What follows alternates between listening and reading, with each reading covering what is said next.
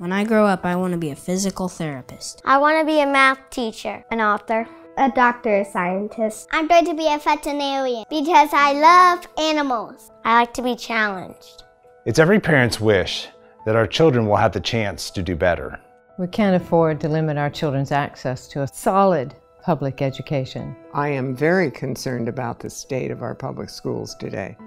Public schools are under attack by forces who are pushing privatization, and this is not for the benefit of the students. Funding is currently below the level that was established by the legislature's own studies. For the last few years, the state of Kansas has lowered the funding for public schools. Our current two-year budget underfunds education by a billion dollars. We're losing good teachers because class sizes are so large. It's getting more difficult to be a teacher. I'm having to pay for more supplies out of my own pocket.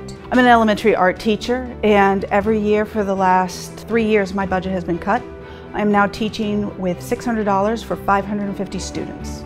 That's a dollar and nine cents a student. We need your help because we can't vote. Get involved. Join the conversation. It's about providing every child with an excellent education. Learn all you can about public school funding. Let's do this.